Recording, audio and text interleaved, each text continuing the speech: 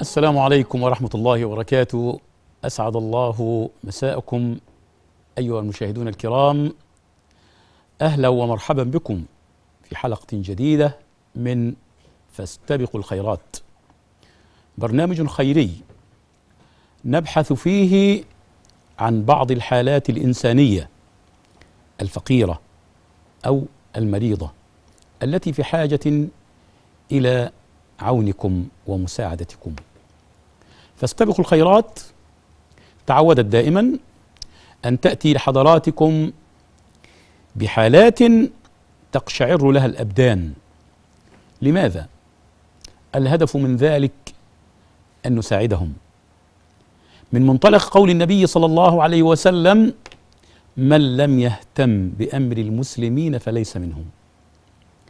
والله عز وجل جعلنا سببا لأن ننقل لحضراتكم بعضا من تلك الحالات لعل الله عز وجل يجعل السعادة على أيديكم أنتم. حاله أخ كريم شاب تزوج وأنجب وعاش وشغال وكافي خير وشر زي ما بيقولوا. لكن فجأة أصابه الله عز وجل بالمرض. والمرض والموت يعني بدون مقدمات. كم من إنسان صحيح فجأة بيعمل تحليل بيعمل إشاعة ده عنده المرض الخبيث ده عنده فشل كلوي ده عنده آه تليف على الكبد. نسأل الله رب العالمين أن يعافينا جميعا وأن يشفينا ويشفي أمراضنا جميعا. أبو منا كان شغال بيصرف على أولاده عنده ثلاث بنات وواد وزوجة وقاعد ويعني شغال والحمد لله ومستور لكن أصيب بفشل كلوي. اضطر إلى أن يبيع ما وراءه وما أمامه للعلاج. محتاج تقريبا كل أسبوع إبرة. الإبرة بكام؟ ب 100 ب 200 إبرة ب 2000 جنيه كل أسبوع. آه كل أسبوع إبرة ب 2000 جنيه. طيب هيجيب منين؟ لم يجد إلا أن ترك بيته وذهب عند بيت حماته. وبيت حماته هنشوف في التقرير. بيت لا يصلح للحياة لكن الناس يعني حمد ربنا سبحانه وتعالى ورضي بقضاء الله عز وجل. اتصل بفاستبقوا الخيرات. ذهبت إليه الجمعية بمندوبها سجلوا معه صوروا معه وهنشوف تقرير أبو منة وإنتوا حضراتكم هتحكموا إيه المطلوب؟ الدين اللي عليه العلاج اللي محتاجه المشروع اللي محتاجه لعل الله سبحانه وتعالى يجعل في هذه الكلمات القليلة فرجا لهمه. مع تقرير أبو منة ونعود إليكم بإذن الله رب العالمين.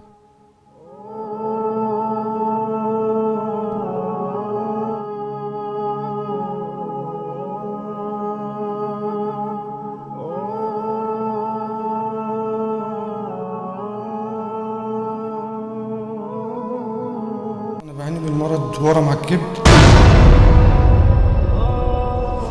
الحمام يتبول دم وبيرجع دم من بقه من مناخيره نفسي بابا ربنا يشفيه وست الدين اللي عليه برجع دم وبتبول دم.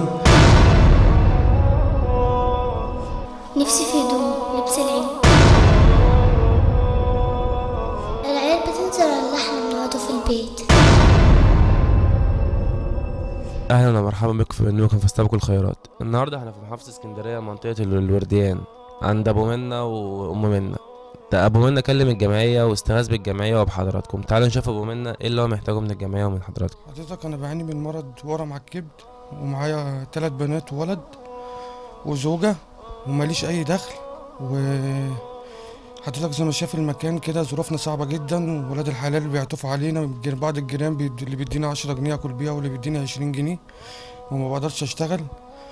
وبسبب الورم ده سيادتك عمل تليف على الكبد وت- تضخم في الطحال. كل أسبوع باخد إبرة ب 2000 جنيه. إبرة الفيروس ب 2000 جنيه.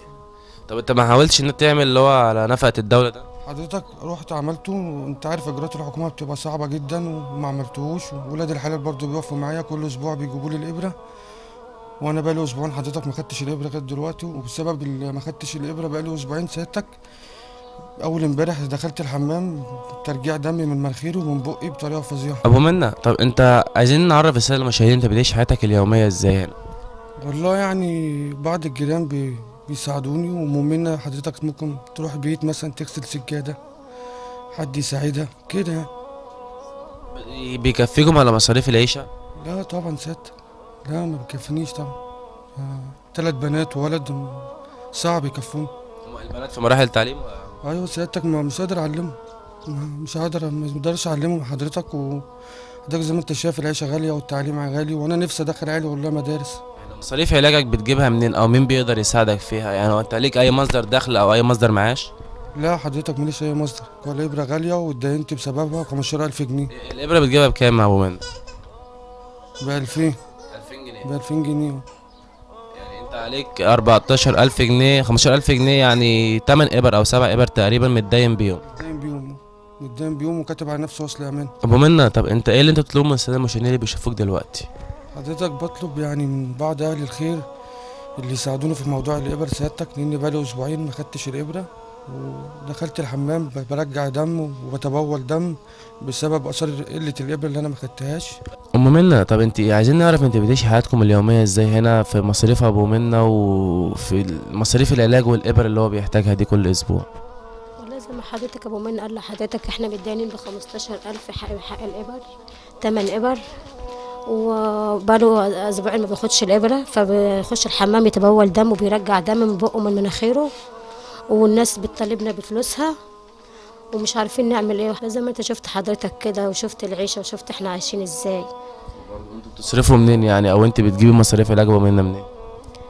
لا والله إحنا أنا بطلع سيء السلم بغسل سجادة بجيب 20 جنيه 10 جنيه 15 جنيه والله ما بيكفونا عيش حاف تسيبي الأولاد دي والطفل الصغير وتطلعي بره آه بسيبه والله والله بسيبه فعلا. انت إيه اللي انت طالباه من الساده المشاهدين يا ابو من السادة المشاهدين إن ديننا يسد والعيال دي تخش المدارس زي أي عيال وعايزة عيشه أدمية كده نعيش فيها زي ما أنت شفت حضرتك.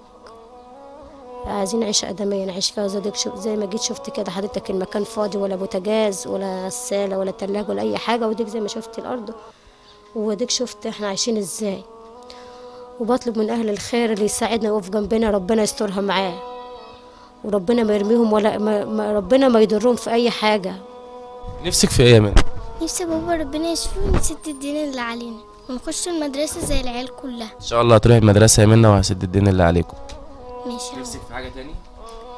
نفسي في هدوم لبس العيد عشان أما إحنا بن... الناس كلها بتن... العيال كلها بتنزل الشارع وإحنا لأ. نفسك في إيه يا عسل؟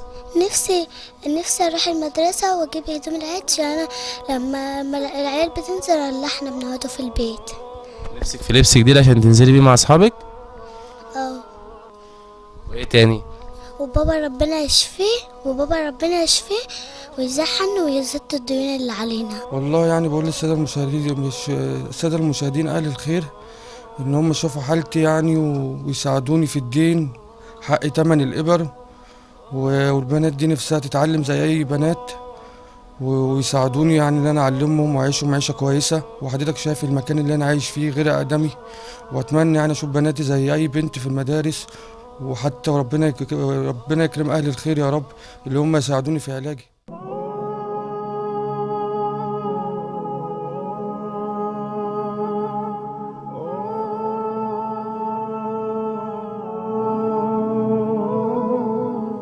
أبو منة زي ما قلنا عنده ثلاث بنات وواد. ابتلاه الله عز وجل بفشل كلوي. بيغسل كلى بيحتاج إبر استدين ب 15000 جنيه زي ما شفنا. محتاج يسد الدين اللي عليه ومحتاج مشروع يعيش منه. أي مشروع؟ إحنا دايما بنقول المشاريع المتاحة. المشاريع المتاحة محل بقالة. المشاريع المتاحة محل علف. المشاريع المتاحة محل خضار. حاجات بسيطة. 10 15 ألف جنيه هيعيش منهم هيطلع أكله وشربه وإيجاره منهم. لكن نايم مريض مش لاقي. فلذلك اتصل وذهبت الكاميرا وسجلوا معاه وشفنا حاله. محتاجكم عشان تقفوا جنبه عشان أيتام اللي عنده عشان تساعدوه عشان الله سبحانه وتعالى يفرج عنك. إياك أن تظن أن الدنيا مستمرة. لا. قال سبحانه بعد أعوذ بالله من الشيطان الرجيم. وتلك الأيام نداولها بين الناس. كم من غني أصبح فقيرا وكم من فقير أصبح غني وكم من صحيح أصبح مريض وهكذا. الله سبحانه وتعالى هو الذي بيده الملك وهو الذي كما قال عن نفسه قل اللهم مالك الملك. ملك الله سبحانه وتعالى مطلق لكن ملكك أنت مقيد. والله الذي لا إله غيره. ستترك كل ما عندك أو يتركك. إما أن تموت وإما أن يحدث كما يحدث لكثير من التجار الذين يكنزون والذين يمنعون ولا يتصدقون. فجأة هزة اقتصادية ضربته ضيعت ذهبت بكل أمواله. لكنه لو اتقى الله عز وجل وأخرج ما كتبه الله عز وجل عليه أخرج زكاته وأخرج صدقاته وطهر ماله فالله عز وجل يطهره كما قال الله سبحانه وتعالى للنبي صلى الله عليه وسلم بعد أعوذ بالله من الشيطان الرجيم مخاطبا مخاطبا النبي صلى الله عليه وسلم والخطاب لكل من قال لا إله إلا الله محمد رسول الله حتى أن يرث الله الأرض ومن عليها. قال سبحانه خذ من أموالهم صدقة. لماذا يا رب؟ ما الفائدة التي تعود على الصدقة حينما أخرجها؟ على من تعود الفائدة؟ اسمع إلى الآية. أيها الأخي الكريم وتأكد أن قول الله عز وجل صدق وحق. خذ من أموالهم صدقة تطهرهم وتزكيهم بها. تطهر من؟ العلماء قالوا إن التطهير يعود على المتصدق. يعود على المتصدق نعم. حينما تخرج زكاة مالك فالله عز وجل يطهر قلبك من الشح ومن البخل ويطهر أموالك يبارك فيها وينميها لأن الزكاة هي النماء هي البركة. فالخير يعود عليك أنت. بركة في مالك وإن كان قليل. ما دمت قد أديت حق الله سبحانه وتعالى. خذ من أموالهم صدقة. تطهرهم وتزكيهم بها وصل عليهم إن صلاتك سكن لهم. فالخير يعود عليك أنت. وأيضا يعود على المتصدق عليه. يعود بماذا؟ بأن يطهر قلبه. قلب المتصدق عليه. قلب الفقير من إيه؟ ما هو لما أكون أنا فقير. ومش لاقي آكل. وشايفك قدامي رايح جاي عندك فلوس وعندك عربيات وعندك ومطنشني مش سائل فيا وأنا مش لاقي آكل. وأنا باكل من الزبالة وأنا مش لاقي حد يعطف عليا. طب ما لابد أن أحقد عليك. لابد أن عيني في مالك سأحسد مالك. لكن حينما تعطي الفقير فالله سبحانه وتعالى يرفع الحسد من قلبه. ولذلك أيها الإخوة الكرام إحنا عايزين نساعد أبو منة نسد الدين اللي عليه عليه 15000 جنيه. عايزين حقنة كل أسبوع ب 2000 جنيه وعايزين نعمل له مشروع يعيش منه هو وأولاده. ده كان تقرير أبو منة. إحنا طبعا كما عودناكم وكما قلنا قبل ذلك على هذه الشاشة المباركة فاستبقوا الخيرات. بدأت بدأت بدري جدا في توزيع شنط رمضان. آه شنط رمضان. آه تعودنا عليها والناس الفقراء تعودوا عليها. هي شنطة. يعني مش حاجة بالنسبة لك أنت. حضرتك لما تعمل صدق شنطة اتنين تلاتة عشرة في مية في ميتين بالنسبة لك مش حاجة. لكن بالنسبة للفقير لما يدخل كده عليه المندوب بشنطة فيها آه جميع متطلباته لمدة أسبوع حتى على الأقل بيكون سعيد.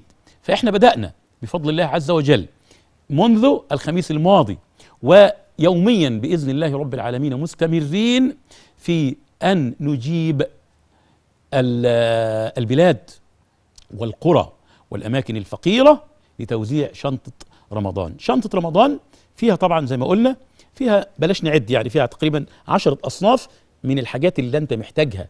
محتاجها يوميا. كلنا محتاجين رز وسكر وشاي وصلصة محتاجين زيت محتاجين ملح محتاجين شنطة تشمل هذه الأشياء. في بداية رمضان إن شاء الله رب العالمين عايزين الشنطة يبقى فيها بروتين فيها دجاجة فرخة أو فيها نص كيلو لحمة أو كيلو لحم تبع آه عدد الأسرة. فبإذن الله رب العالمين بدأنا منذ الأسبوع أواخر الأسبوع الماضي في توزيع شنطة رمضان. وفي احتياج إن شاء الله يستمر الأمر. في احتياج نوسع. مش عايزين نسيب فقير يعرفنا أو اتصل بينا إلا ما نديله شنطة رمضان. طب ده بإيد مين؟ بعد الله سبحانه وتعالى أنت. حضرتك تتصل وتقول إن شاء الله أنا متبرع ب 100 شنطة. ليه لأ؟ ليه لا؟ شوف عندك قد إيه وشوف الله سبحانه وتعالى من عليك بقد إيه. شوف أنت كنت هتعمل عمرة السنة دي والعمرة موقوفة. ثمن العمرة أنت أنت أنت كنت بتطلع بتطلع سبع نجوم أو خمس نجوم. بتصرف خمسين ألف وثلاثين ألف في العمرة مش كده؟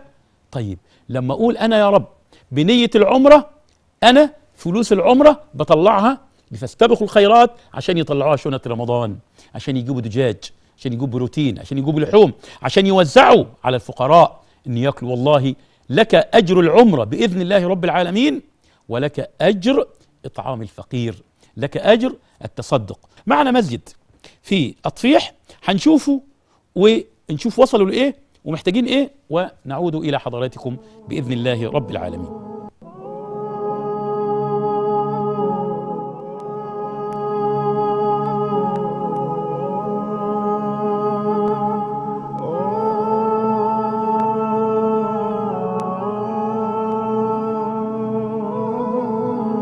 السلام عليكم ورحمة الله وبركاته. إن الحمد لله تبارك وتعالى نحمده ونستعينه ونستغفره ونستهديه ونعوذ بالله تبارك وتعالى من شرور أنفسنا ومن سيئات أعمالنا إنه من يهده الله فلا مضل له ومن يضلل فلا هادي له وأشهد أن لا إله إلا الله وحده لا شريك له وأشهد أن سيدنا محمدا عبده ورسوله وصفيه وخليله بعثه ربنا للإيمان مناديا وفي مرضاته ساعيا وللمعروف آمرا وعن المنكر ناهيا. فبلغ رسالة ربه ونصح لأمره وتحمل ما لم يتحمله بشر سواه. قام لله بالصبر حتى بلغه رضاه. لما ذكر ربنا تبارك وتعالى فضل إعمار المساجد إنما يعمر مساجد الله من آمن بالله واليوم الآخر الإعمار أيها المسلمون له معنيان. معنى حسي ومعنى معنوي. طب عاوز أتصدق. اللهم إني قد تصدقت بعرضي. أي حد يتكلم في حقي فأنا إيه؟ أهي صادقة يا راجل. طب إحنا دلوقتي ربنا مدينا الجهد والمال وال ها؟ فنحن نحتاج إلى أن نتصدق. الأمر الثاني النبي عليه الصلاة والسلام يقول سبعة ظلهم الله في إيه؟ في ظله يوم لا ظل إلا ظله يذكر سيدنا النبي يقول إيه بقى؟ ورجل قلبه معلق بالمساجد. إحنا محتاجين يا جماعة دلوقتي اللي إحنا نبني جزا الله خيرا من تبرع بهذه الأرض. أرض ما شاء الله واسعة وشاسعة ما شاء الله لكن تحتاج إلى اللي إحنا بقى نبلط. محتاج إلى إقامة وتشييد هذا المسجد. محتاج السقف آه، دورة ال- المية. محتاجين اللي إحنا نقيم دورة آه، مياه. كل ذلك يكون في ميزان حسنات العبد يوم القيامة. وأنا أذكر بقول النبي صلى الله عليه وسلم حتى في نفس الحديث اللي هو قال فيه اللي هو ورجل قلبه معلق بالمساجد قال ورجل تصدق بصدقة فأخفاها حتى لا تعلم إيه؟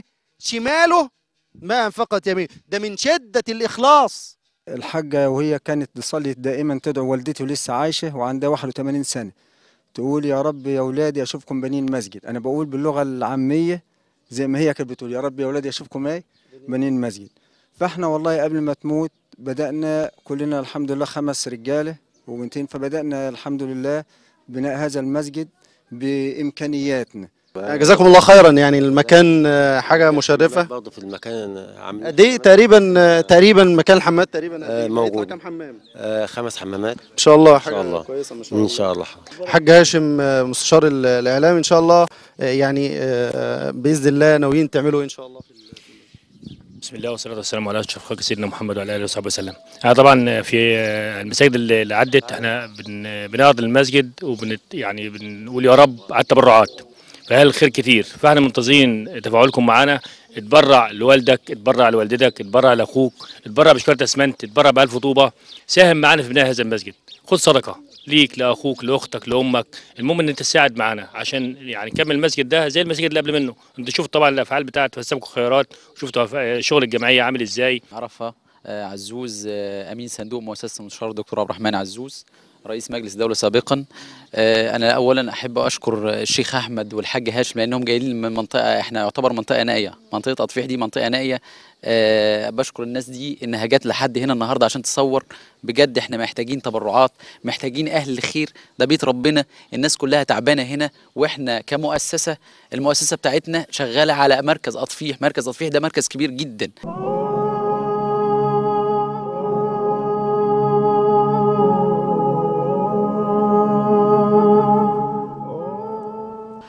ورجعنا لحضراتكم بعد ما شفنا تقرير عن المسجد في قرية في أطفيح وشفنا إزاي إن أهل الخير تبرعوا بيه ومحتاجين يكملوه. أنت لابد من التعاون. خير بيوت الله في الأرض هي المساجد. والنبي صلى الله عليه وسلم بين لك لو بنيت بيت لله هيبني لك بيت في الجنة. طب إحنا بنتعب أرواحنا ونصوم في الحر ليه؟ بنروح نعمل عمرة عشان إيه؟ بنقوم في صلاة الفجر نتوضى ونعمل ونخرج للمساجد عشان إيه؟ عشان الجنة. النبي صلى الله عليه وسلم يقول لك لو شاركت بأي جزء في بناء مسجد لله سبحانه وتعالى بنى الله لك بيتا في الجنة. ده تقرير عن المسجد. ودي تقريبا ثالث حالة أو ثالث حلقة نذيع ونعلن على المسجد بتاع أطفيح. بس أنا ما أعرفش هو الناس فين؟ فين أهل الخير؟ لغاية دلوقتي ما حدش اتصل وقال لك أنا متبرع بمثلا آه، بصبة السقف بتاع المسجد. محدش قال أنا متبرع بالسيراميك أو بالرخام بتاع المسجد. محدش قال أنا متبرع بالسباكة. ال- الاتصالات بالنسبة للمسجد بصراحة معدومة. ولذلك عمالين نكرر ونعيد. عايزين نبنيه. يعني تخيل لو رمضان كان فيه صلاة تراويح والناس دي كانت عاملة حسابها عشان يصلوا فيه التراويح في رمضان. كان موقفنا إيه؟ إحنا عايزين تهتم. نعم اهتم بال- بالبشر واهتم ببيوت الله عز وجل. والله عز وجل والله عز وجل أعطاك ووسع عليك وأبواب الخير كثيرة. ووالله لقد أنا كنت في القرية دي يوم الخميس اللي فات. والله قرية ما فيها مسجد غير ده بعد 3 كيلو عشان يصلوا. نعم ما فيش صلاة دلوقتي لكن فجأة إن شاء الله ستعلن ال- الجهات المختصة بإذن الله رب العالمين انتهاء الوباء وانتهاء ال- ال- ال- المكروب الفيروس وهنفتح المساجد. هيصلوا فين الناس دي؟ عايزينكم تتفاعلوا معاهم. هم طلبوا وشفتوا كلامهم. والله سبحانه وتعالى أمرك بالإنفاق في كل طرق الخير. أيها الإخوة الكرام لابد أن ننفق ولابد أن نتفاعل. الماء الذي قال الله عز وجل عنه وجعلنا من الماء كل شيء حي المية. مفيش كائن حيوي بيعيش من غير مية. طب أنت لما تروح قرية وتلاقي إن أقرب مكان عشان يجيبوا منه المية 2 كيلو. يا إما ياخد تريسيكل 15 جنيه رايح و15 جنيه ده جاي عشان يجيب جركنين ثلاثة مية. طب هو ما عندوش. لا عنده ثمن التريسيكل ولا عنده ثمن المية ولا عنده مية. فعشان كده إحنا رحنا وشفنا في قرية عرب آه في أطفيح. المدي... ال... ال... ال- القرية كلها ما فيهاش خط مية. الأبعد أو أقرب خط مية ليهم مش حنفية مية تقريبا 450 كيلو. اتصلوا ورحنا لهم وشفنا وضعهم على الطبيعة محتاجين توصيلة من الخط العمومي وبعدين كل واحد هيدخل في بيته. يعني بقول لك أنا أدخل يا مولانا إن شاء الله نشترك كلنا في حنفية. بس يكون عندنا خط مية. عايزين يشربوا عايزين يطبخوا عايزين يعيشوا زي الناس ما عايشه هنشوف تقرير عن قرية عرب اطفيح في احتياج إلى آه، خط مية ونرجع لكم إن شاء الله رب العالمين.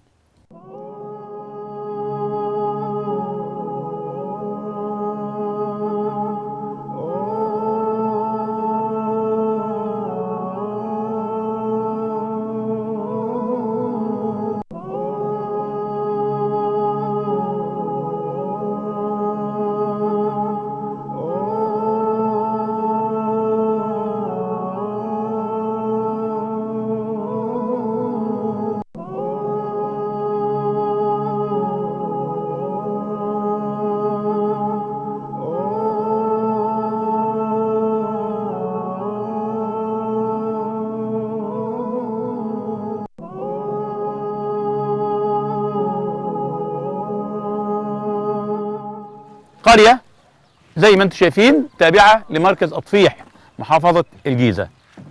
بتعاني من إيه؟ بتعاني زي ما أنتم شايفين بيوت كل البيوت غير مسقوفة. اللي حاطط شوية خشب وشوية سدة ده كده أبو زيد خاله زي ما بيقولوا. لكن المشكلة الكبيرة مش في البيت ولا في السقف ولا في العرش.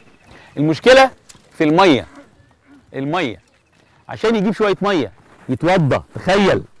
وإحنا دلوقتي بنصلي في البيوت. عشان نجيب شوية مية يتوضى لازم يمشي 2 كيلو.